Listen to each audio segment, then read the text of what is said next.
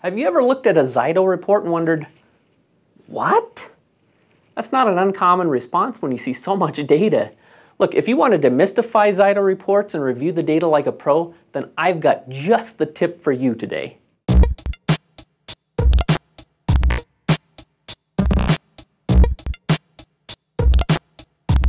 Zyto software programs contain massive libraries of virtual items. When choosing items, sometimes we want to scan them as stressor virtual items, and other times we want to use them as balancer virtual items. When we scan an item as a stressor, we're in essence asking the body, is your response to this item in range or out of range? Now, range is a value calculated at the beginning of each Zyto session that helps us determine what to pay particular attention to. Dr. Cook likes to think of range in terms of it being your energetic threshold. So let's have a quick math lesson. Now don't worry, there isn't a quiz and you can watch this as many times as you want. Remember the algebra term absolute value? It simply means that we'll look at the size of the number regardless of its sign. This is the case with range. So if we plot range on a number line like this, it will extend out equally in both directions. We're not concerned about positive or negative. In this particular report, our range extends between 6.74 and negative 6.74.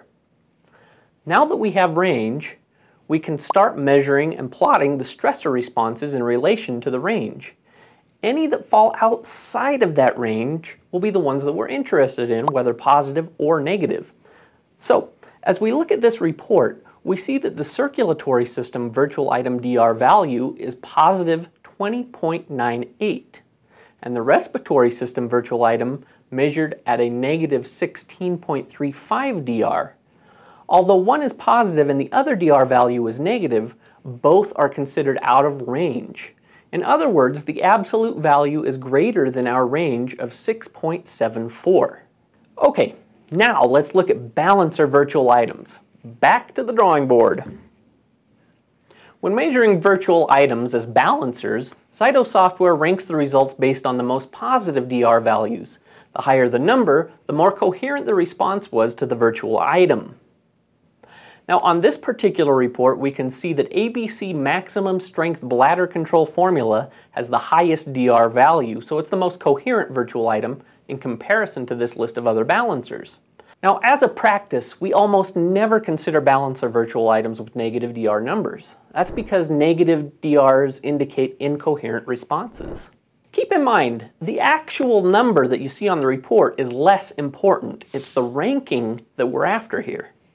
Think of it like giving someone a list of movie titles that you know that they like and asking them to sort them in order of how much they prefer to watch one movie over another. If you played the second movie on their list, would they be unhappy? Probably not, but they'd still probably prefer to watch the first movie on their list. Additionally, if you asked them to sort the movies again a month later, they would probably put them in a different order. So let's get back to our report. Just like our friend sorting the movies, here's a list of several balancers that were scanned listed from greatest to least positive. With this understanding, you should be able to review reports like a pro and start asking better questions and making better decisions to support healthy lifestyle choices like what products you want to take and making adjustments in your diet, things like that. If you simply remember to look for out-of-range responses for stressors and high positive numbers for balancers, you're on your way to becoming a Zyto Report Pro. Until next time, happy scanning.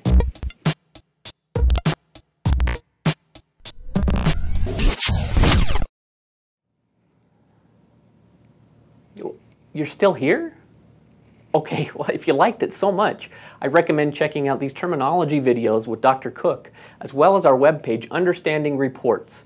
These are two great resources to help you on your journey to become a Zyto Report guru.